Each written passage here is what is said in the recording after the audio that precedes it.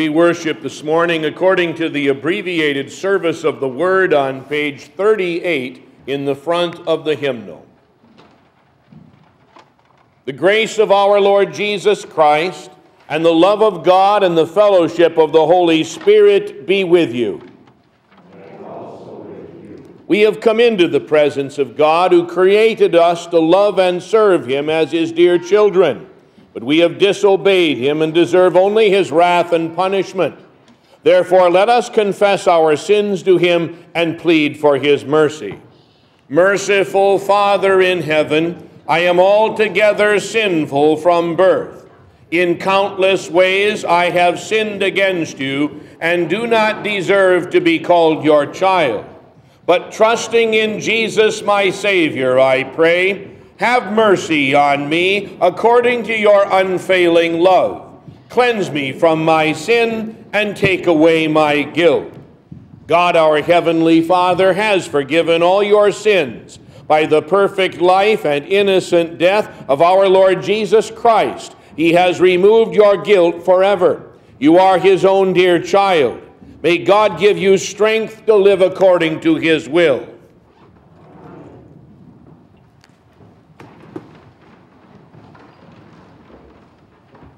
Our epistle lesson this morning from 2 Corinthians chapter 7 begins at verse 8. Even if I caused you sorrow by my letter, I do not regret it.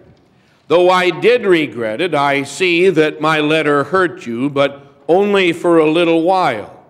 Yet now I am happy, not because you were made sorry, but because your sorrow led you to repentance.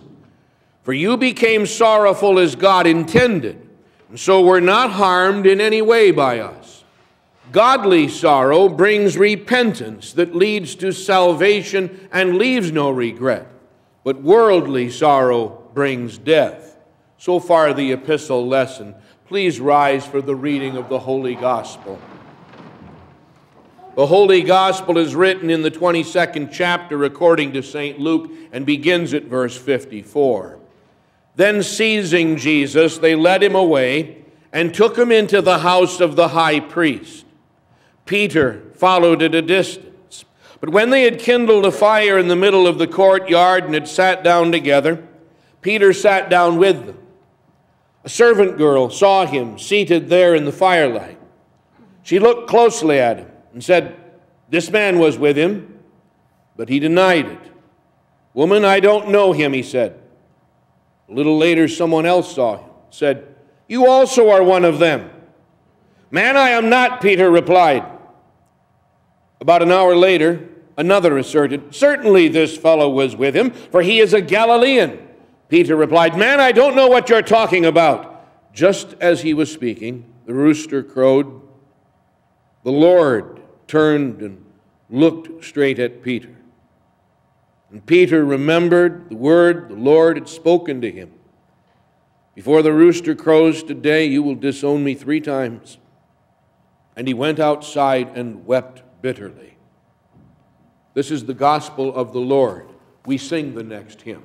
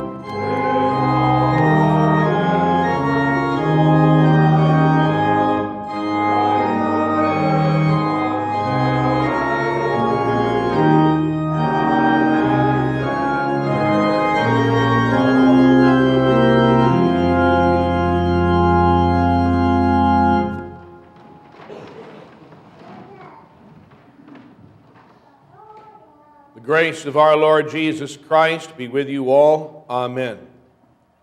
Our text in our Lenten series on the Beatitudes from the fifth chapter of Matthew's Gospel. Blessed are those who mourn, for they will be comforted.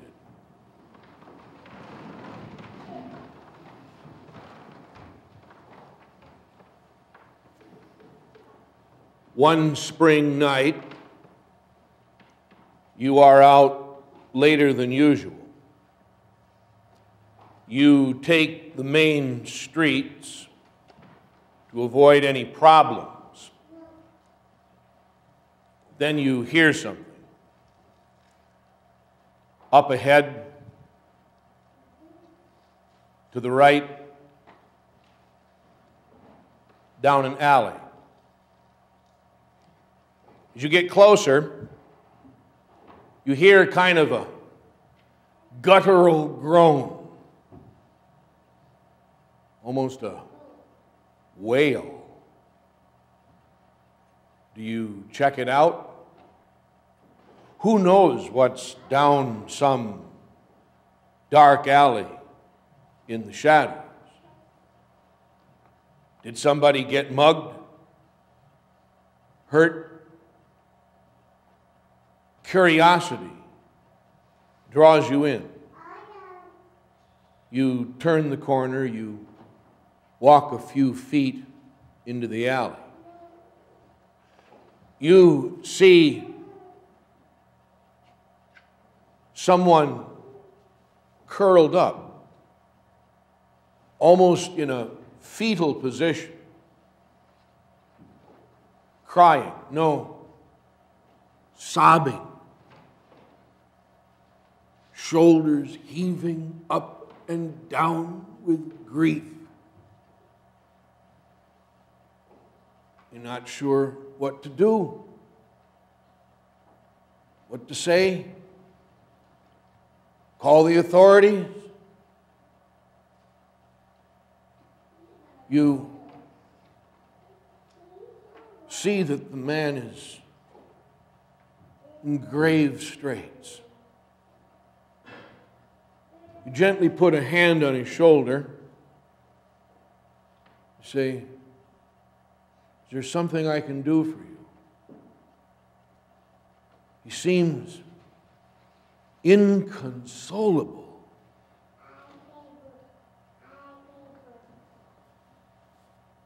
What are you so sad about? You ask.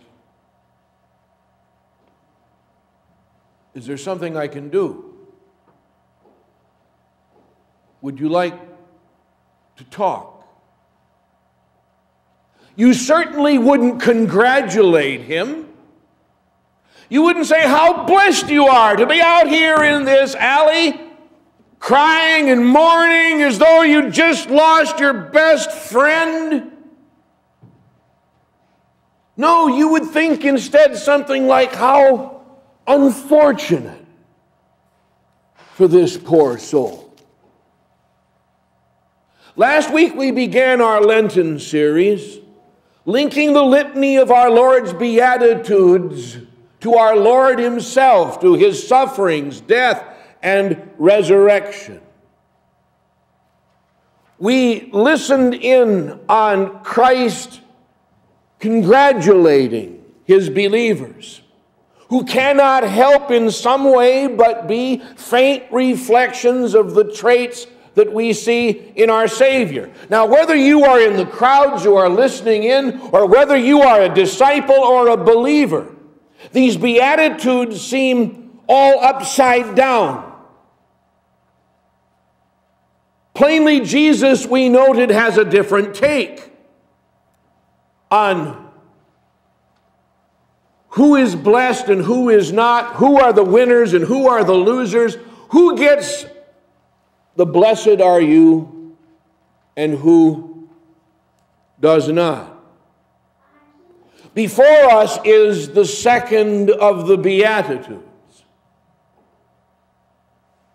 Blessed are those who mourn, for they will be comforted. Shakespeare's Juliet said to Romeo, Parting is such sweet sorrow. Now, English teachers would call that an oxymoron. It is a contradiction in terms. How can sorrow be sweet? And yet, we have such contradictions in terms around us all the time, don't we? We talk about bittersweet moments or a deafening silence or an open secret or a tragic comedy. How can sorrow be sweet? What kind of sadness brings gladness? What kind of grief creates relief. Isn't such a thing actually impossible? And yet Jesus says, Blessed are those who mourn, for they will be comforted. Now, if the congratulations of Christ Himself rests upon the heads of those who mourn, if the Savior Himself gives a handshake of divine consolation and congratulations to people who are grieving, well, then it must be so. Perhaps you have noticed this. Was there some time in your own life, some pain or problem that actually became for you a path to blessings that you never could have even predicted?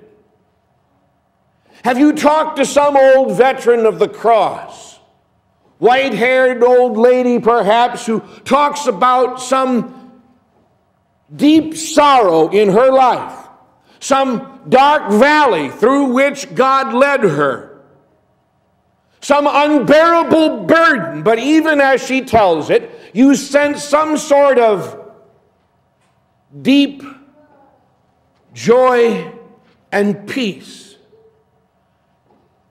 like a river in its well worn channel. Perhaps you have experienced it yourself. Some sorrow in your life that caused you to run into the arms of God in a way that otherwise you would never have done. Blessed are those who mourn, says Jesus. Doesn't the Bible say, Rejoice in the Lord always? And serve the Lord with gladness? Well, of course it does. But we must not be superficial here. There are things that we must mourn over sin in ourselves, within, the sin that is around us, the broken hearts and lives caused by sin in this world. This is the godly sorrow which works repentance which Paul talks about in Second Corinthians. The Bible bids you and me, and we know this, we must take sin seriously. We just can't brush it off. Our sins drove the nails into the hands and the feet of Christ. It was sin that took everything that was beautiful in the beginning and made it ugly. It was our sin which caused God the Son to step onto this planet in order to deal with it. Real sorrow over sin. Christians get this because it is the one thing that equips us to truly appreciate the grace of God in Christ Jesus and His great pardon. The sorrow that you and I experience is natural enough. It is a lifelong battle. We do not always live on the same high plane of faith and love toward our Lord Jesus as we should. We fail often. And yet we go running back daily to the goodness and the grace and the forgiveness of the one who took upon himself our weaknesses and who has promised to lift from us our broken hearts. So there's this man crying in the alley, his shoulders shaking, his face a waterfall of tears. You don't know what to say. You're not sure what you should ask. Against your better judgment, you sit down next to him. And you say once more,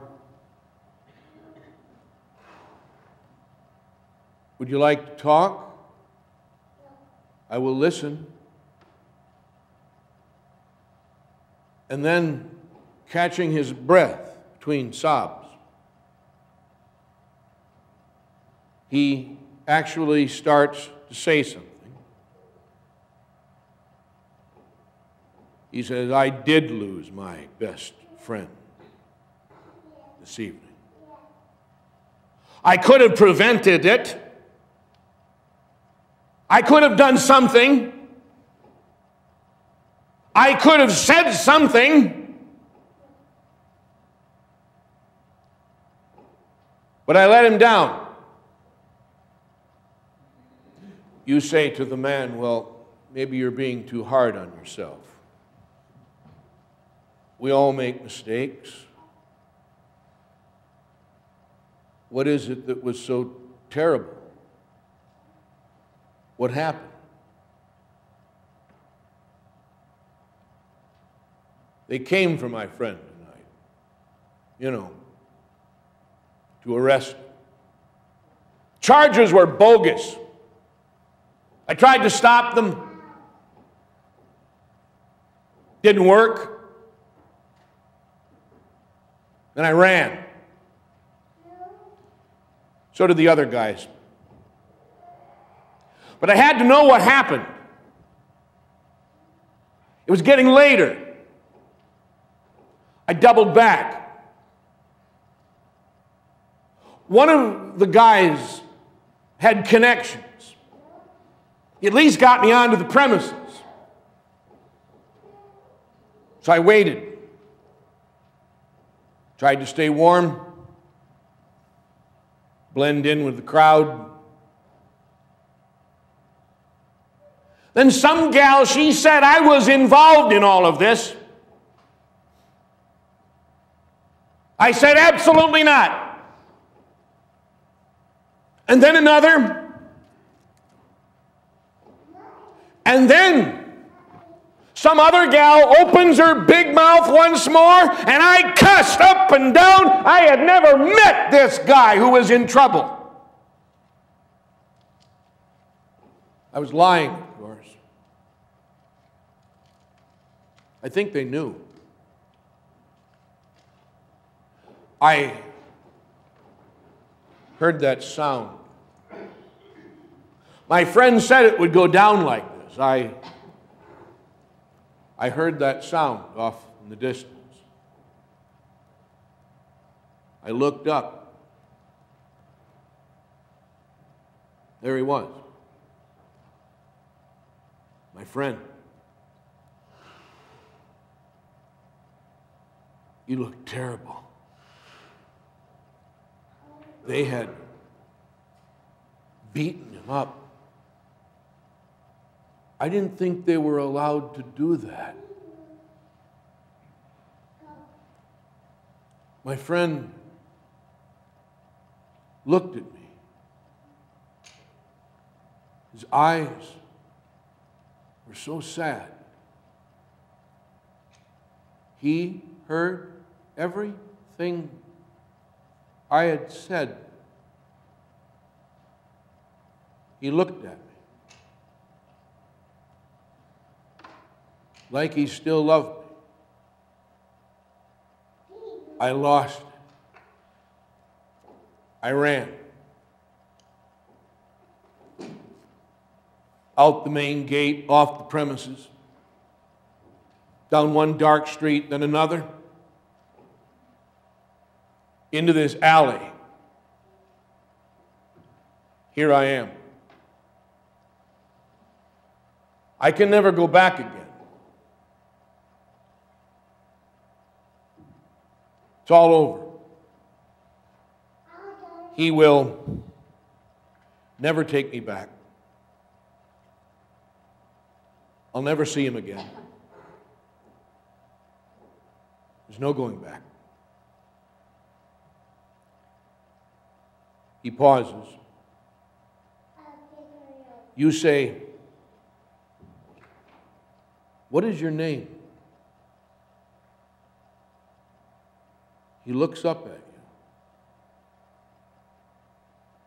Peter. No, that's the name my friend gave me. Peter. Rocky. Yeah, some rock, huh? No. Uh, my mother called me Simon. Just Simon. That's my name. Pause for a moment. Your friend. Who is your friend? He's a teacher. No, no, he was the teacher. That's what we called him the teacher, the master, the one and only. Jesus.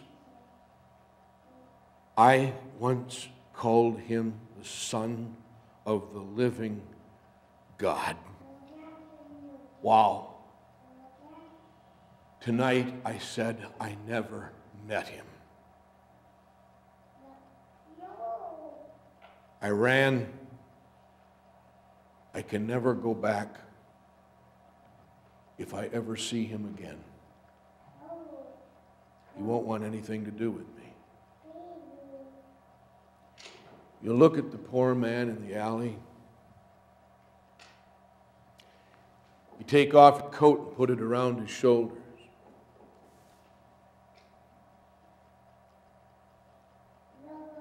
You did see his name was Jesus? Yes. I know him. I have spent time with him. And what you did tonight, I've done that too. A thousand times over.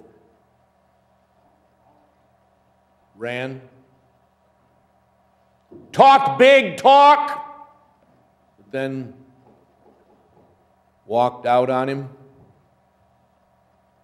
Tried not to talk too much about him. Did my friends? A little too embarrassed. Most of the guys I hung with, why, they never knew. Your friend and I used to spend a lot of time together. We were actually quite tight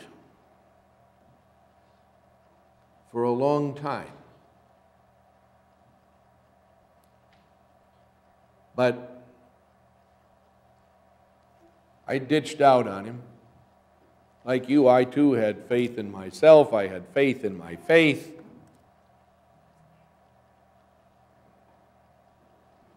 But I have spent my whole life running back to Him. And every time I do, He smiles at me as though He's just tickled to see me again. Pulls up a chair pours a glass, and talks to me as though I had never left. A thousand times I have gone back to him. And every time I see him, he tells me that this is why he showed up in the first place to be a man of sorrows and acquainted with grief. My shame is your shame, fisherman. I too left him and ran. But always I've spent my whole life running back. Did you get the coat around the man's shoulders? Cut the chill. You know, morning is coming. You say, Come on, let's go back together. Let's see how this whole thing turns out. His shame and pain and mourning and sorrow on him instead of us, our friend in our place. And then remember, remember what he said. Do you remember what he said? The third day. The third day. Blessed are those who mourn, for they shall be comforted. Amen. Peace of God, which surpasses all understanding, shall keep your hearts and minds through Christ Jesus. Amen.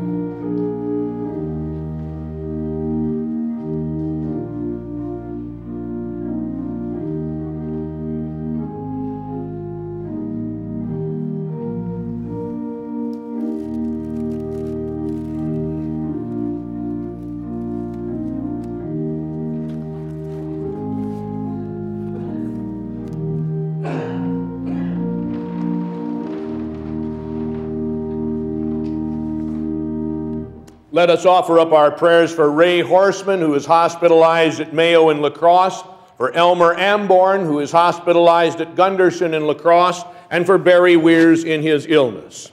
O Lord, you are the great physician of soul and body. You chasten and you heal.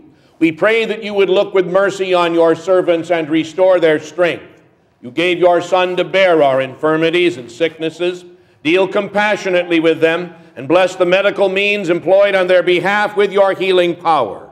We commit them to your gracious mercy and protection, for you are a faithful and merciful God for Jesus' sake. Amen. And we also pray, O Lord Jesus Christ, thou innocent Lamb of God, who before the Sanhedrin was falsely accused, beaten, and sentenced to death as a blasphemer and a deceiver of the people. We beseech thee, show us the salvation that is in thy merit, and look upon us in mercy, as thou didst look upon Peter, that sincerely repenting of our sin, we may obtain by faith the comfort of forgiveness, and at the end be found acceptable in thy sight, thou who hast taught us to pray, Our Father who art in heaven, hallowed be thy name. Thy kingdom come, thy will be done on earth as it is in heaven. Give us this day our daily bread, and forgive us our trespasses, as we forgive those who trespass against us. And lead us not into temptation, but deliver us from evil. For thine is the kingdom, and the power, and the glory, forever and ever. Amen. The Lord bless you and keep you. The Lord make his face shine on you and be gracious to you. The Lord look on you with favor and give you peace.